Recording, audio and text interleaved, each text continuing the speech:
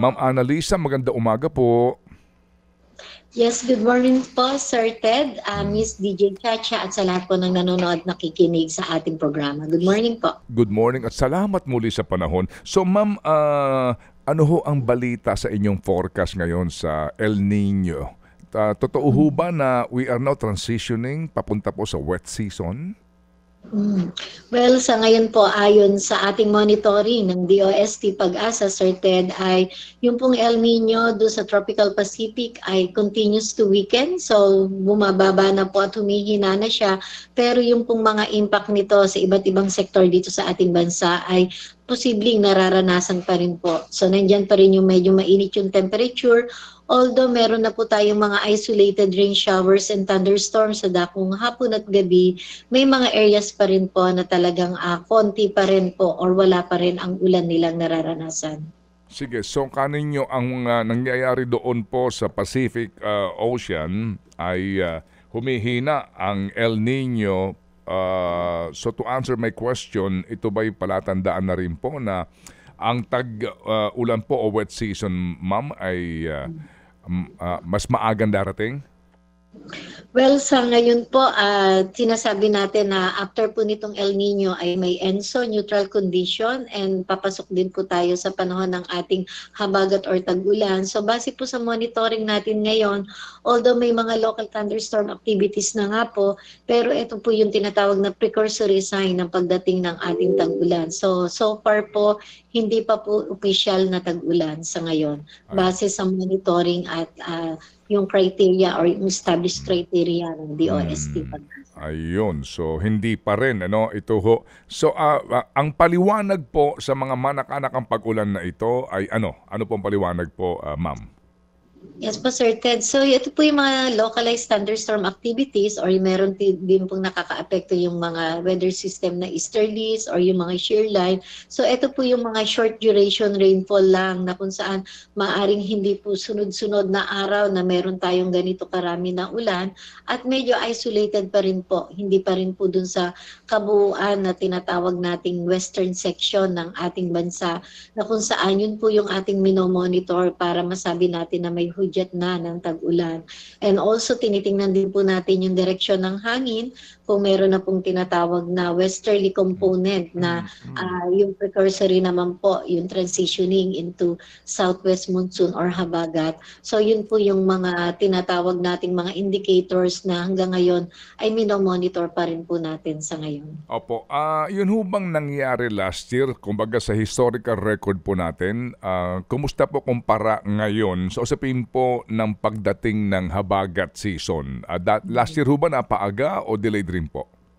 Hmm. So kung ikukumpara po natin last year, so ano first week ng June po uh, nagka, nag tayo nag-onset ng rainy season noong nakaraang hmm. taon. So dito tinitingnan po natin probably is yung uh, ang normal onset po kasi natin ay second half of May to first half of June. So pwede pong maglaro doon mga around 85% certain and around 15% na posible pong uh, posible pong June 16 onward o yung posibleng ma-delay. So may possibility na ma-delay pero yung pong possibility po na maging normal ang onset ng ating tag-ulan ay mas mataas po yung posibilidad sa ngayon dahil based po dun sa monitoring din natin ng La Nina yung possible po nito na ma-develop is around July, August, September, which is around more than 60%.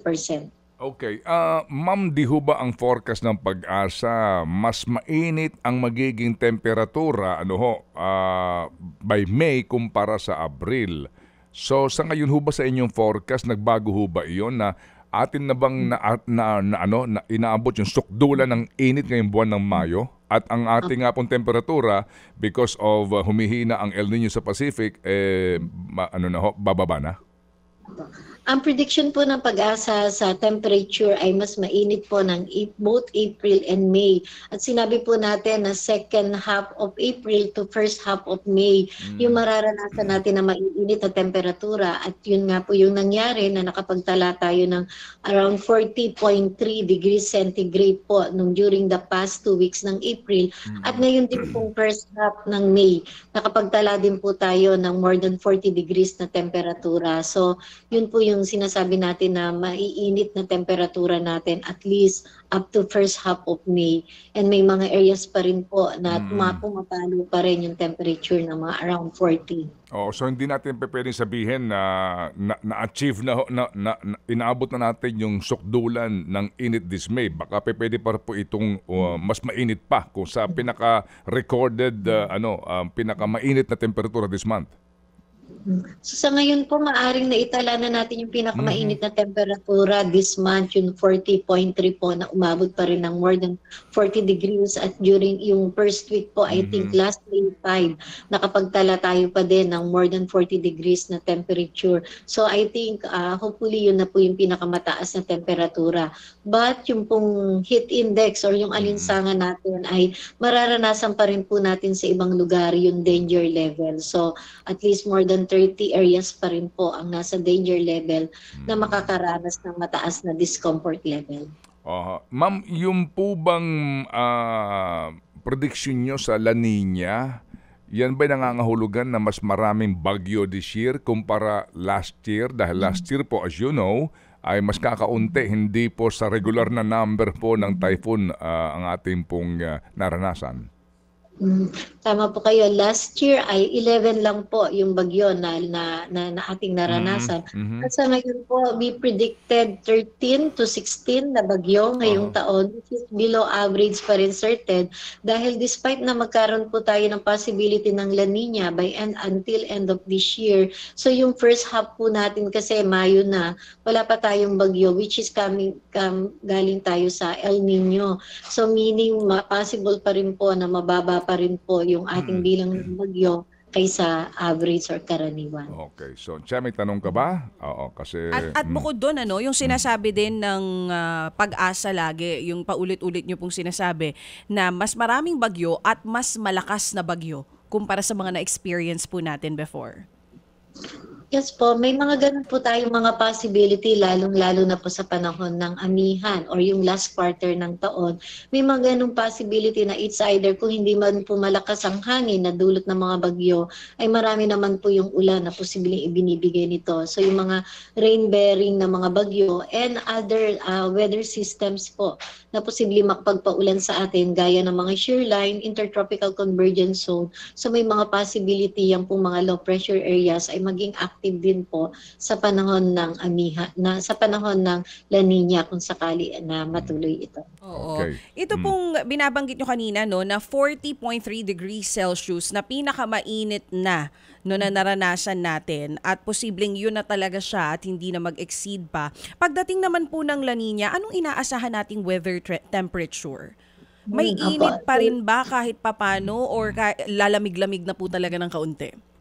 Uh, Miss DJ uh, Chacha, nung mga past na mga La Nina po ay medyo malamig yung ating amihan. So posibleng may mga ganun po mga instances na yung mga surge ng cold, yung cold surge natin during amihan, may mga possibility po kapag meron pong La Nina. Okay, sige po. Ma'am, ito hong naranasan ng pagbaha ngayon, nag ah, sobrang ulan ah, ah, dito po sa East Asia, no, sa, sa Indonesia.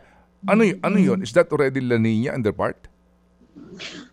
Ah, opo. So sa ngayon po dahil meron po kasi tayong mga tinatawag na mga at tinatawag na tropical wave at Mhm. mer yung, yung tropical wave po kasi yun po yung malapit sa equator na kung saan itong itong Indonesia na parte ng Indonesia ay ah, nakakaranas po nitong mga tinatawag na mga tropical wave na ito po yung mga rain bearing na nakakapagpaulan. So dito Mhm. naman po sa atin ay yung easterlies na posibleng nakakapagpaulan. So yun po yung possible na nakakaapekto sa kanila and yung pong mga meron din pong mga ibang ah, teleconnection na na may kaugnayan din po sa climate pattern ng Indonesia in which sa kanila yung posibleng nakakaapekto sa ngayon. Okay, sige. So, Ma'am Annalisa Solis, at Ma'am, salamat na marami ha. At kami po laging nag-iistorbo sa inyo kasi ang ating mga kababayan po, ito rin po tinatanong po sa ating pong programa.